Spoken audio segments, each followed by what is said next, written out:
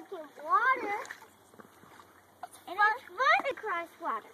Yeah, and it's fun to cook water. Let's cook water, okay? Woo! Wee, wee, cook water. Wee. Ah, it's an alligator. Well, we're here right outside, um, probably about, I'd say 400, 500 yards away from uh, the house that we're staying in. We're at a kind of outside and just doing a little bit of adventure with my kids. And uh, I paused to just um, uh, shoot this little video and let us let you know what we're doing. But I also was thinking and I was looking around here.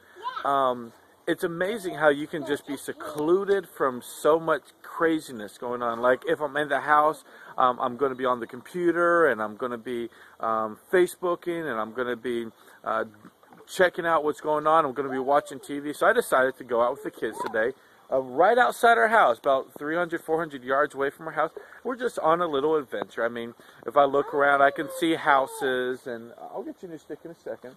Um, but I think it's important. Even even even myself, I, I just feel relaxed um, with all the craziness going on with church and, and bus driving and family and everything. Just get away and get into God's nature It is an amazing and amazing therapeutic type of thing. I'm not even thinking about the church. Or I'm not even thinking about anything else.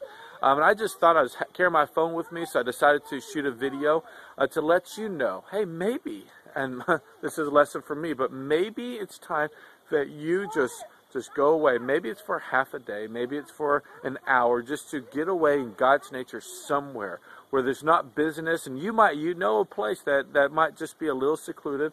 Maybe take your family out go to a place that's a little secluded and then just marvel over God's beauty.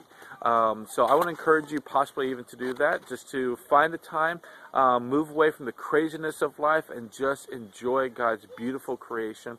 And as the kids are enjoying the beautiful creation, they're actually going ahead of me right now, so I need to catch up with them.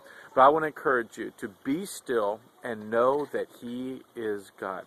He created all this to give himself glory, and I think we need to marvel in his beautiful creation. So I'm going to go after the kids, um, but I want to encourage you be still and know that he is God. Craziness of life, yes, but at the same time, enjoy God's beautiful nature that it's everywhere around us. God bless.